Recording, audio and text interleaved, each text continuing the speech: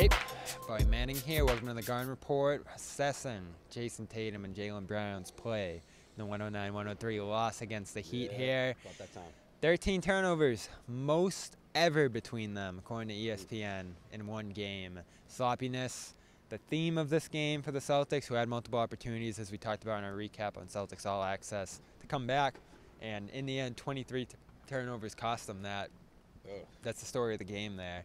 Yeah. And the most turnovers by a playoff team since 2020 in the bubble. I believe it was the Lakers who did that against the Nuggets. The champs. Uh, Celtics got a chance here. They're, All right. They're fine. They're fine. All right, so it's going to come down to these two, setting a tone.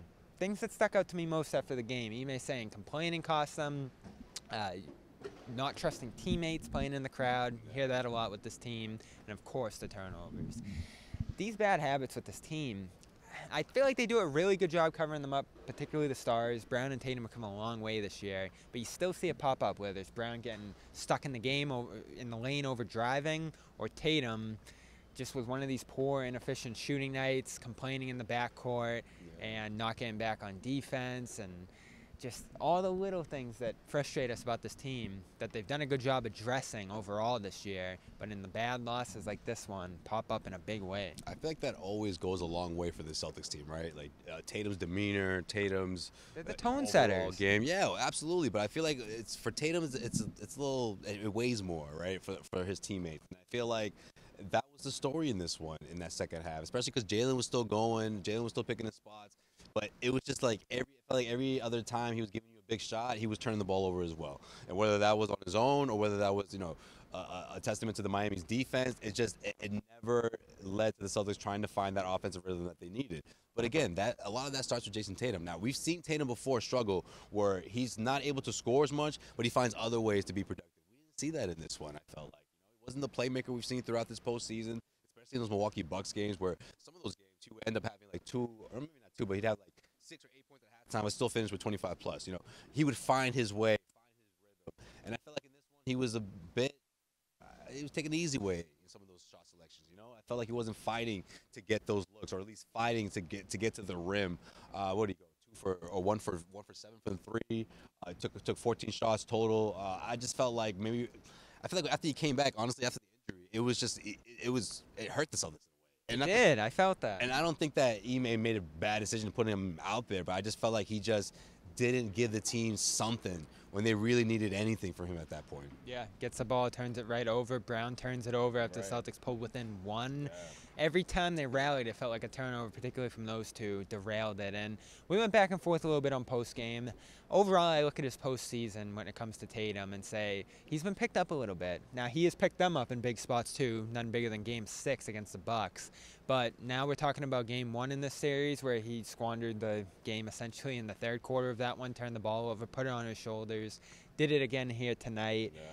So that's two losses in the series, largely stemming from your star when other guys were playing decent, particularly Brown, who had every two pointer he took in this game. So I thought Brown's aggression was appropriate, especially going down big. Turnovers understandable. You'll take some of those while he's scoring 40. But Tatum, as you talked about, just didn't do enough otherwise. And now we're in this long string with him, I feel like, where it's one good game, one bad game, and the team is sort of flowing with what he's doing and consistency out of your star I feel like is important. You know, a lot of teams lose playoff games. There's going to be gives and takes in series, but just these dramatic swings from him, and they have been dramatic, are- really tough to roll with if you're trying to win a championship. Yeah, it is. It is, especially because this team really does lean on, on, on Tatum. I mean, look, if you again, I, I talked about during the Celtics post game show where in, in that series against the Milwaukee Bucks, okay, sure, he didn't have a great game through. You know, he didn't play great every single game throughout that series, but when it mattered most, he showed up. And without that, I don't think they're at this level. I don't think they make the Eastern Conference Finals without him. So, I mean, of course, it's, it's stating the obvious when you when he's your best player. But again, we've talked about it go, going into this playoffs when you don't have as as as deep as a bench as Miami, when you don't have guys that you can that, that can put the ball on the floor and produce outside of Tatum and Brown, it gets it gets tricky. And the Celtics have to continue to lean on that defense to string together stops that's going to trigger the offense. And I feel like the Celtics, uh, the Miami Heat, they were able to not only force the Celtics into turnovers, but they were also able to convert on the offensive end off of those in a hurry. And the Celtics have to go back, look at film, figure out what they did wrong, and they have to be more crisp on offense. They cannot turn the ball over this much. And of course, those two guys in particular just make things way make things a lot harder for the Celtics team when they're playing this way. I expect Jayson Tatum to bounce back in Game Four. I'm not worried about that. But again, this team as a whole, they have to revert back to the defense that they were playing.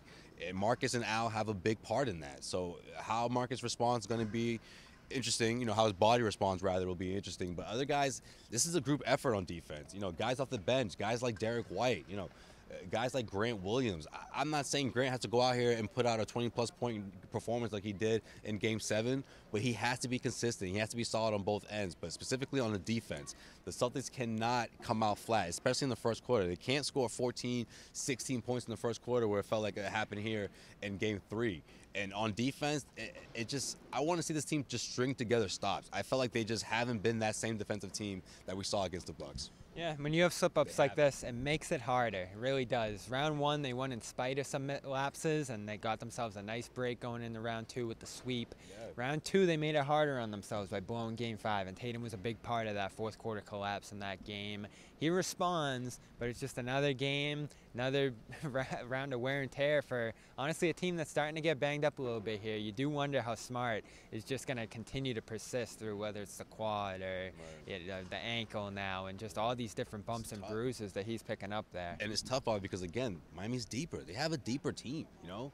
Especially with Lowry back and now Rob out. Right, exactly. But look, deeper doesn't always mean better. Like I, I still think the Celtics uh, are overall are more talented than Miami Heat, but when much it comes closer now, it's much closer when you look at the injuries and all that stuff. But at the end of the day, it's tough when you're going up against a team that just will never stop fighting and that's the Miami Heat right now. So you have to do your you have to you have to match that energy and then some in game four and head back to Miami, hoping you know having this series tied up two two. Pretty simple assessment. Need a better Jayson Tatum out of this one. Celtics gonna try to bounce back.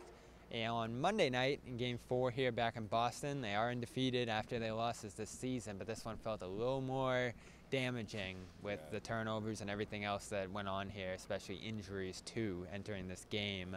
Uh, we'll have practice coverage tomorrow. Celtics around 1 o'clock at Auerbach Center. Look out for some live reports there. Celtics All Access, CLNS Media on YouTube. Of course, clnsmedia.calm. Check out com, calm.com slash garden, 40% off a premium subscription. Go help out CLNS and get yourself some good wellness resources over at calm that are going to help right. you sleep and everything else. And of course, HelloFresh, HelloFresh.com slash playoff 16, 16 free meals, three free gifts. It's an amazing offer. It's still there for you to take it and just try it out because I think you're going to be amazed. We've been instructions, prepackaged ingredients. Should take you less than an hour, I think, to throw together some of those yeah. meals. And there are quicker options over there too, so check that out. Josue Pavon, Bobby Manning, Game 3, a 109-103 loss for the Celtics. We'll see you tomorrow.